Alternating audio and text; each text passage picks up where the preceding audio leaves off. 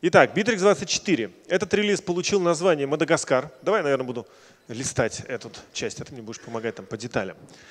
А, мы на презентации обосновывали, почему мы хотим давать название этим а, релизам.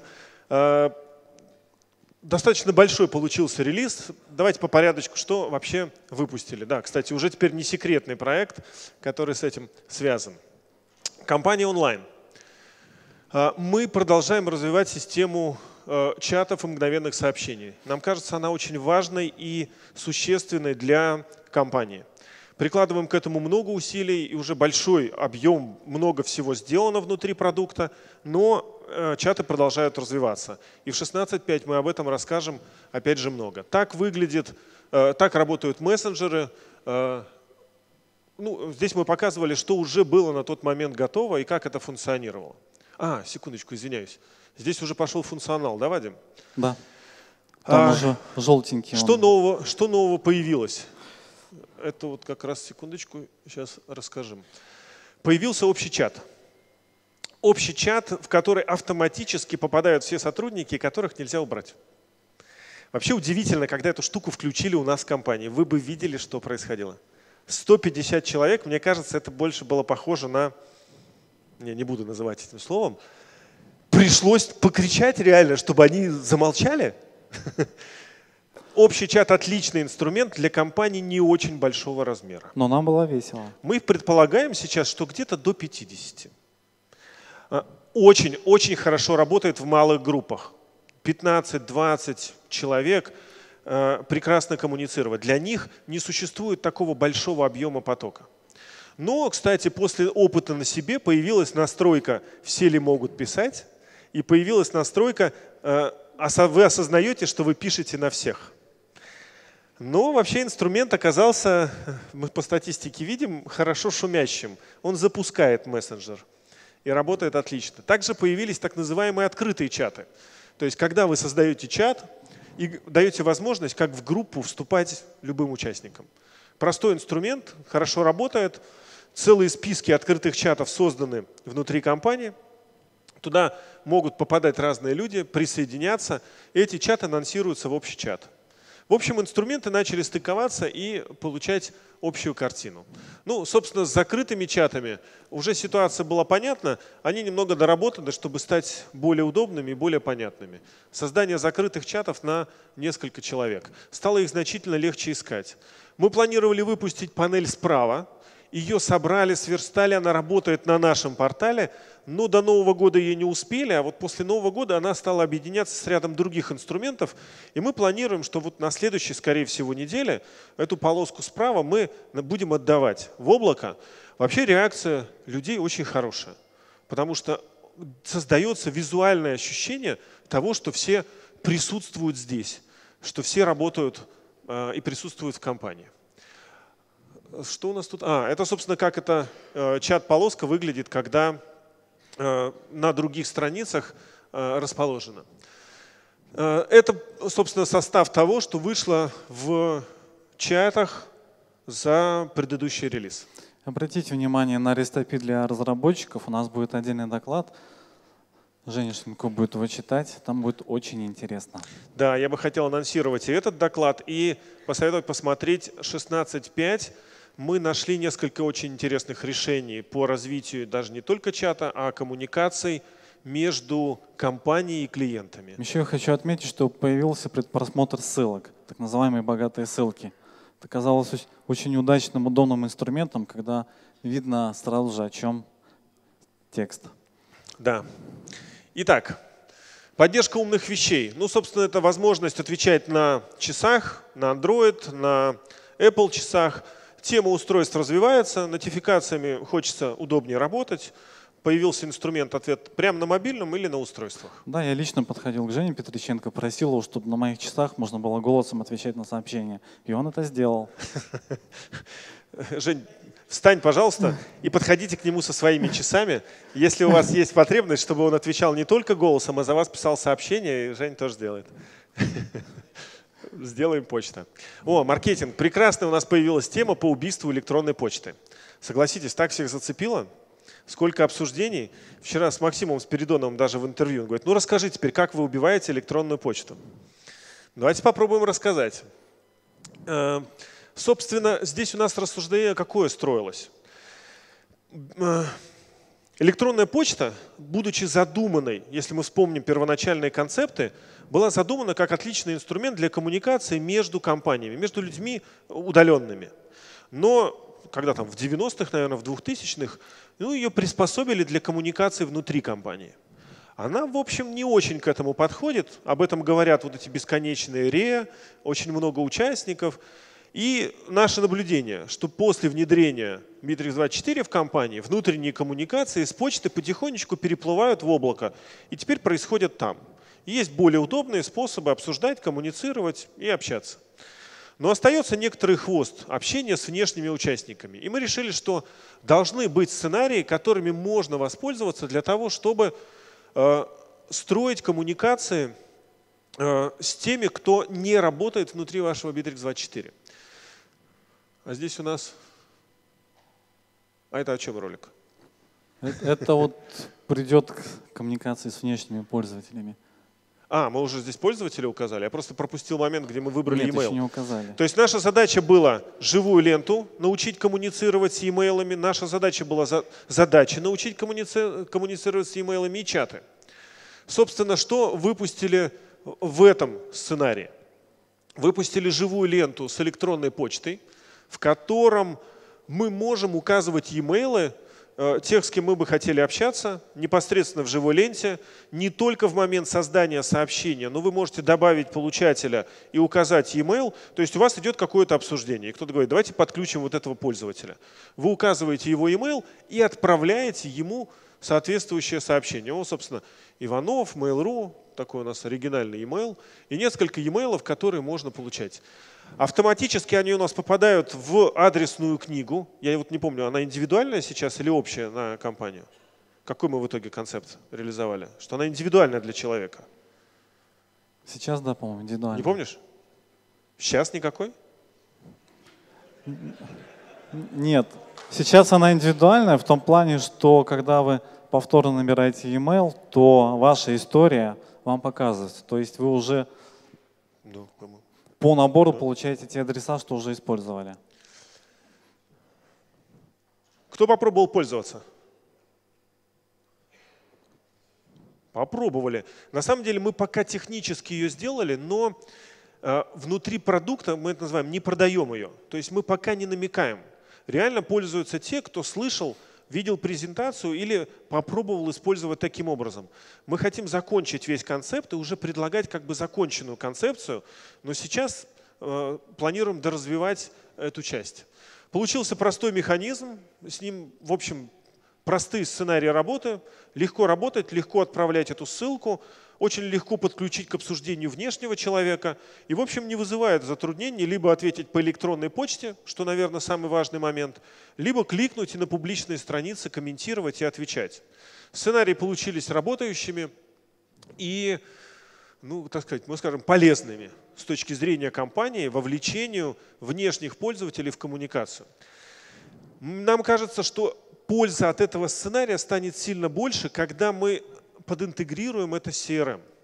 То есть когда те коммуникации, которые вы ведете таким образом, будут стыковаться к этим аккаунтам в CRM. И это как бы адресная книга и CRM, и эти концепты начнут объединяться. Тогда этот комплекс станет целостным для восприятия с точки зрения клиента. Получатель письма может ответить или в своем почтовом клиенте, и тогда мы входящее письмо отправим в живую ленту в виде комментария.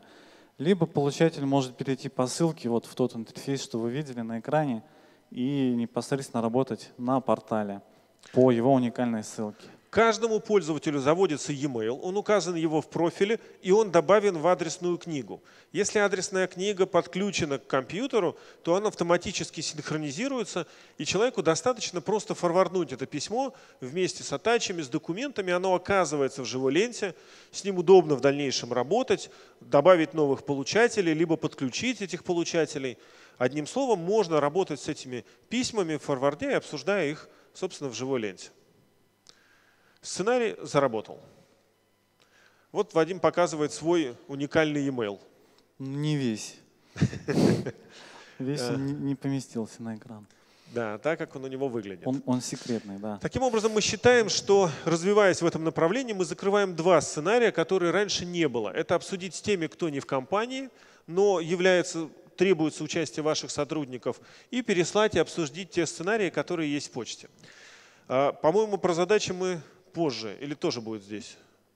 А. Нет, нет, задачи мы на следующий релиз.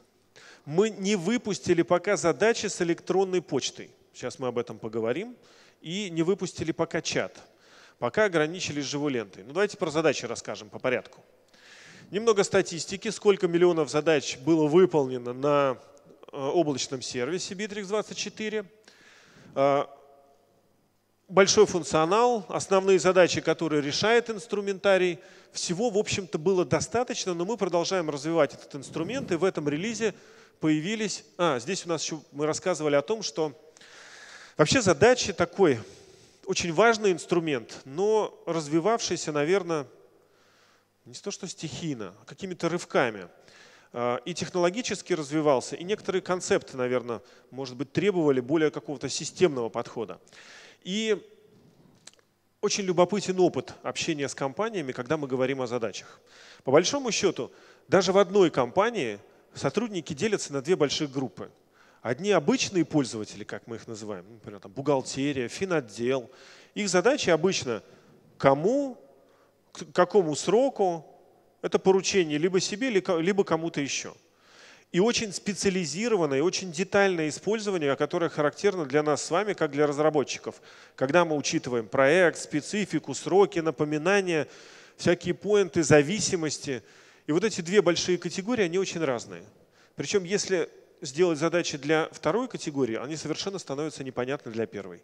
А если сделать их для первой аудитории, они становятся неудовлетворительными для профессиональной аудитории. И мы ищем способ, каким, как сделать задачи такими, чтобы они удовлетворяли и той, и другой категории. Это связано будет с выпуском нового интерфейса. У нас где-то ролик, по-моему, там дальше да, идет? Нет. Нет? А, вы убрали этот в итоге ролик? Да, потому что интерфейс изменился. Ну, в общем, ситуация сейчас такова. Сейчас ведут работы по новому интерфейсу задач. Мы накопили значительный опыт в форме CRM по интерфейсам. Теперь мы пытаемся все это дело унифицировать и сделать задачи такими же красивыми и удобными. Ну, я так понимаю, что мы, во-первых, технологически их перевели на компоненты, избавились от э, старых моментов. Вообще по дороге, когда их начали там реализовывать, собственно, в конце прошлого года, решили, что надо все-таки однозначно один раз нормально переделать, чтобы потом и партнеры могли кастомизировать, и вообще с этим было удобно системно работать. Поэтому задачи застряли немного к выпуску, но интерфейс подтвердили и хорошо доработали. Нам показывают, что 10 да, минут. но Ганта выпустили.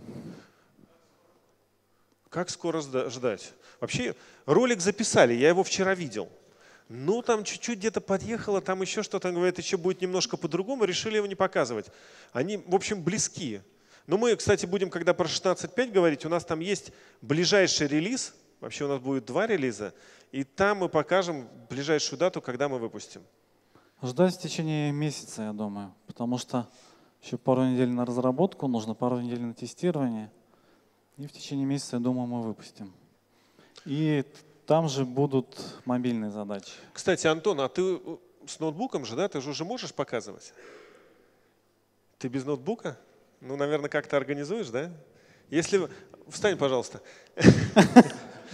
Если вопросы по задачам, пожалуйста, вот можете к нему адресовать и обращаться. Он и Ганта делал, за это отвечает репутацией, и задачами сейчас заведует. Ну давай покажем Ганта. Что по Ганту появилось? У нас не так много времени.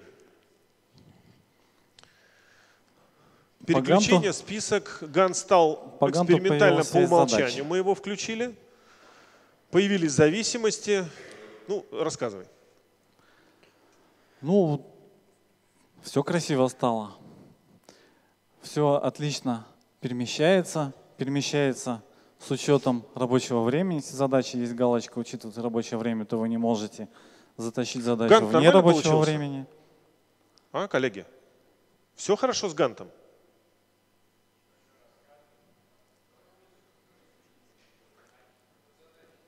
Под задачи в Ганте? Не могу понять. Гант получился или не получился? Получился. Антон, ты крикнул? А- Антон, получился или не получился? Давай покажем зависимости. Пусть здесь, собственно... А, здесь быстрая постановка задачи. Тогда на следующий слайды. На следующий ролик. Мы экспериментировали с тортом во время презентации. Вот здесь показано, как строятся зависимости. Это делать можно динамически, визуально мышкой. Можно Может, вы показывать... вообще не пользуетесь зависимостью задачи, а? И это все были разговоры только? Пожалуйста, крикните.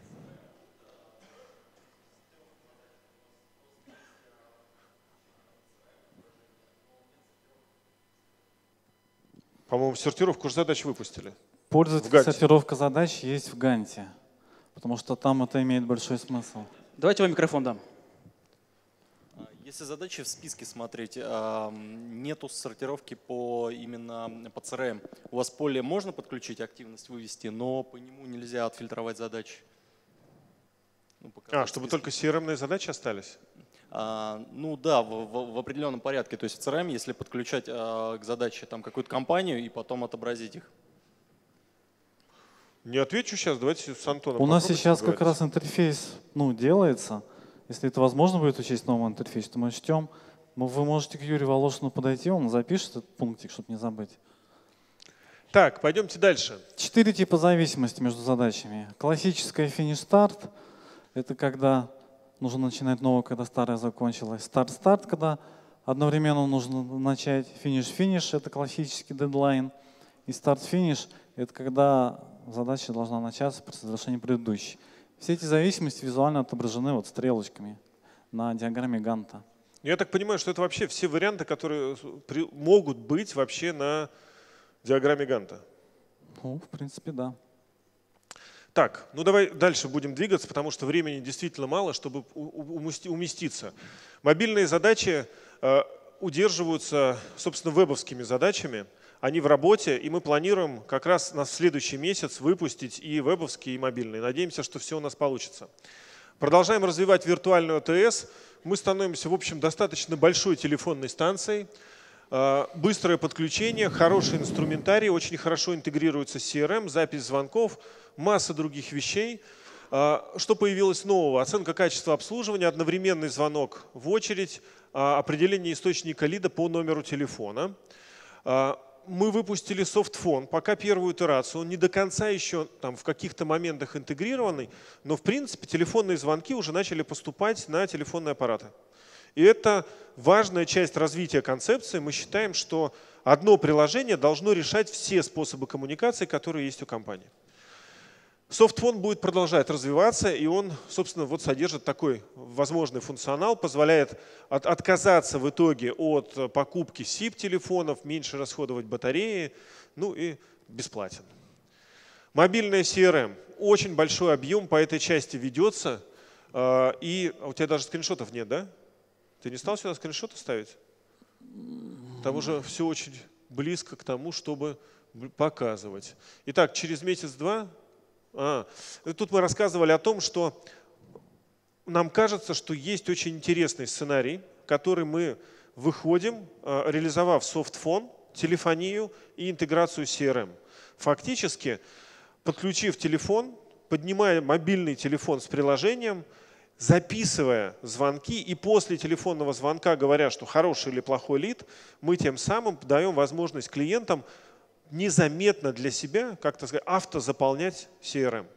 Этот сценарий продолжать будем развивать. Ну, мобильный CRM прямо сейчас создаются карточки редактирования всех сущностей CRM, списков всех сущностей.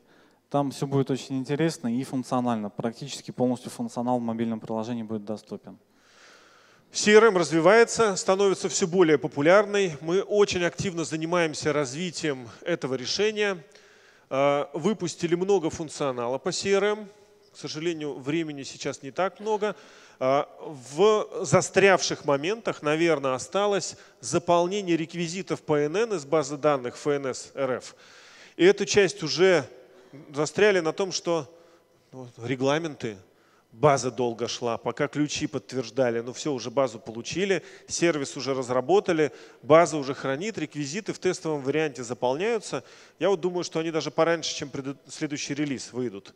То есть мы планируем выпустить а, это пораньше, с множественными реквизитами готово. и с э, данными. Создание на основании. Тут мы, к сожалению, пролистаем, у нас времени совсем остается мало. Я думаю, что и вы, клиенты, уже посмотрели. Хорошо работающее решение и функционал. Развиваются каталог товаров внутри CRM, свойства, типы, э, целый ряд других вещей. История просмотров появилась, история редактирования, история просмотров.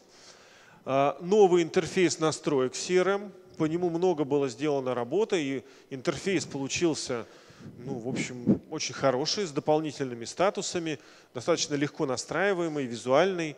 Решения получились хорошие. Итак, новые аналитические отчеты.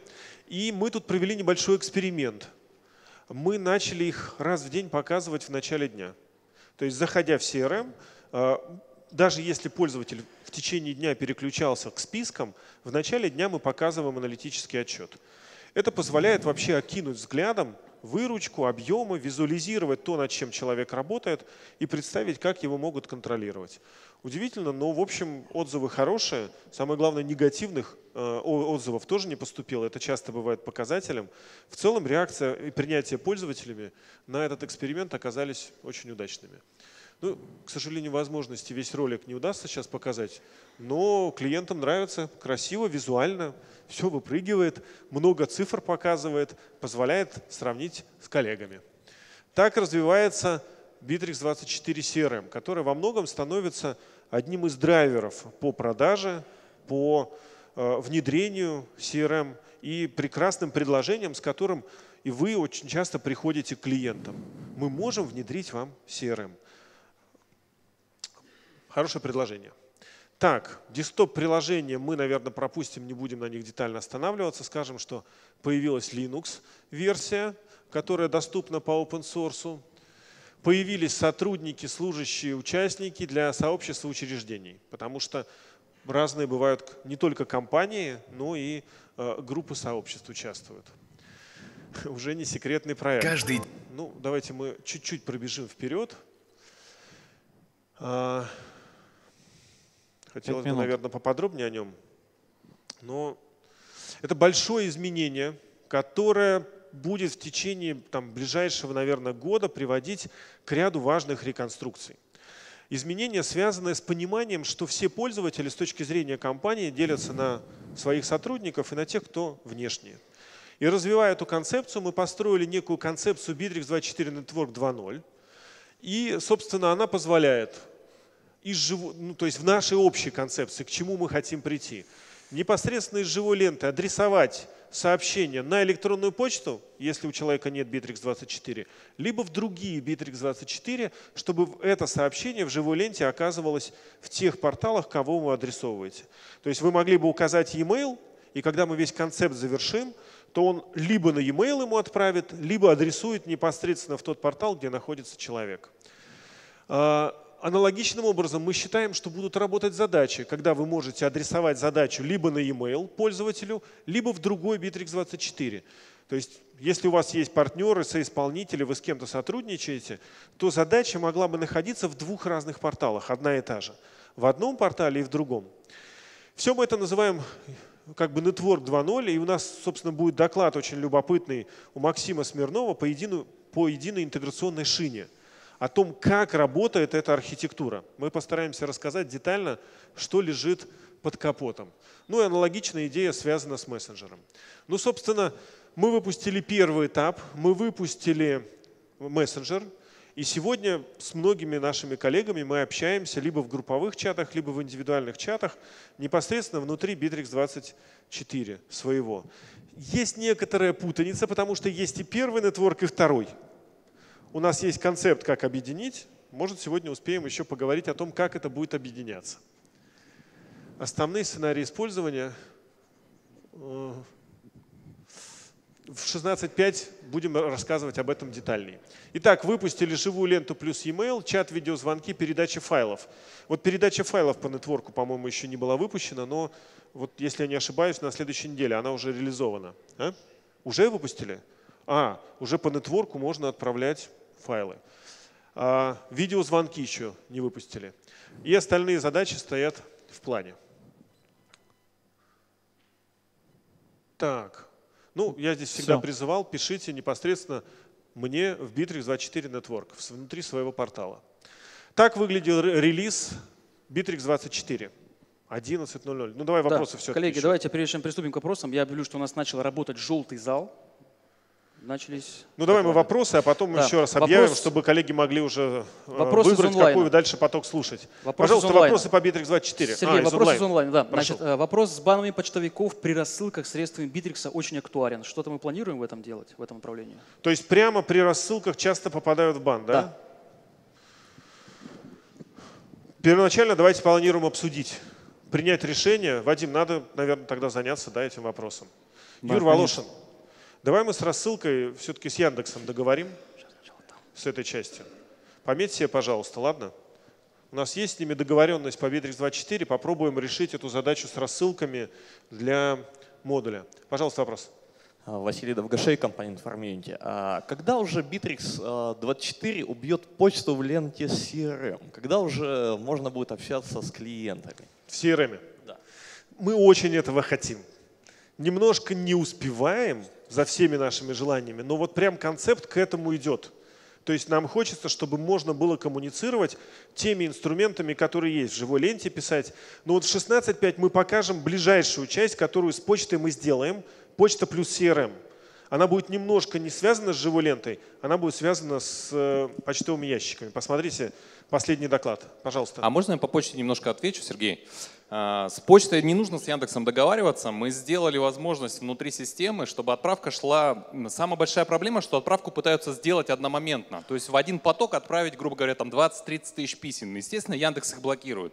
Если поставить отправку пакетами по 2000 писем, то прекрасно проходит. Мы делали тестирование на 60 тысячах каталоге писем. Все прекрасно проходит, Яндекс никаких претензий не предъявляет. Так, слушай, ну давай тогда по умолчанию этот параметр сделаем. Зачем ну, мы даем он, сразу отсылать? Он связан с серверной частью, на крон нужно поставить. То есть мы не можем по умолчанию его включить. Вдруг кроном не будет, еще что-то не будет. Ну, то есть там такое достаточно техническое. Ну, понимаешь, все будут наступать на эту часть. Ну, попробуем что-нибудь сделать. Давайте Окей. попробуем найти решение. Пожалуйста, еще вопрос. вопрос.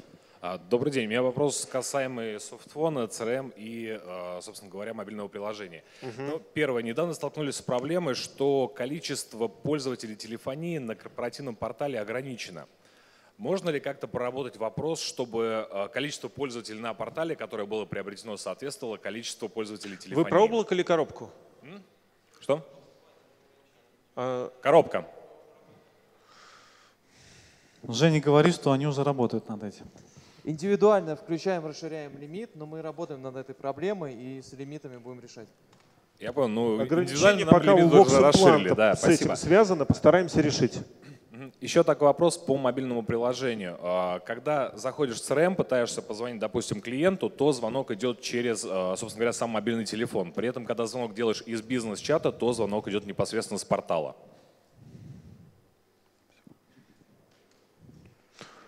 Вот этот человек, Женя Шеленков, подойдите к нему индивидуально, ладно, пообсуждать этот сценарий. Ну давайте два последних вопроса, пожалуйста. А, Павел Машанов, первый бит. Пользовательские поля у задач будут? Э, не расслышал, извините. Пользовательские поля у задач будут? Вот этот человек рядом, пусть ответит. Они на самом деле есть, но нет публичного интерфейса для того, чтобы их создавать. Отличный будут, программистский будут, ответ. Будут. будут или нет? Будут. Как поставишь задачу. Подожди, пусть он ответит. Поставишь задачу, будут. Будут. В новом интерфейсе предусмотрены пользовательские Ну вообще, поля. я, когда тестировали этот интерфейс, я вот на последней неделе много занимался формой задачи, мы, у нас были дискуссии, там у них есть пользовательские поля, поля и зависимости. И прямо это выведено, эти пользовательские поля, они тестируют уже в интерфейсе. Они а будут в, короб, в коробке есть пользовательские поля? Да, все понятно, в облаке они же хотят. Пожалуйста. А, подождите, а, вот там вопрос. вопрос где-то был. Мы вам дадим еще. В ту же сторону вопрос просто про задачи. Будет ли этапность выполнения задач? То есть, к примеру, сейчас задача, она односложная, ее можно либо завершить, либо что-то там с ней сделать. Хотелось бы видеть шаги выполнения задач. Антон? Очень мы, удобно. Мы, мы под- подумаем. Хорошее предложение, мы подумаем. Ну, если я правильно понимаю, мы в нашей концепции это под задачами называем. Ну, то есть не хочется ее как-то усложнять, еще делать более сложным интерфейс. Ну вот вы его схватите за руку и поговорите с ним, ладно? Последний вопрос. да, Пожалуйста. Вопрос очень простой. Когда левое меню в шаблоне Bittrex24 будет сделано сворачивающимся, потому что оно занимает до 20%, иногда 25% в зависимости от разрешения. В общем, рабочая область сильно уменьшается. Это несложно сделать, хотелось бы, чтобы это было сделано. Мы много об этом спорим. Боимся, что, вот реально боимся, что пользователь свернет и забудет, как развернуть. Ну серьезно, вы зря так думаете. Пользователи очень разные. При наведении мышкой. Ну давайте по пообсуждаем отдельно, ладно? Вот в результате.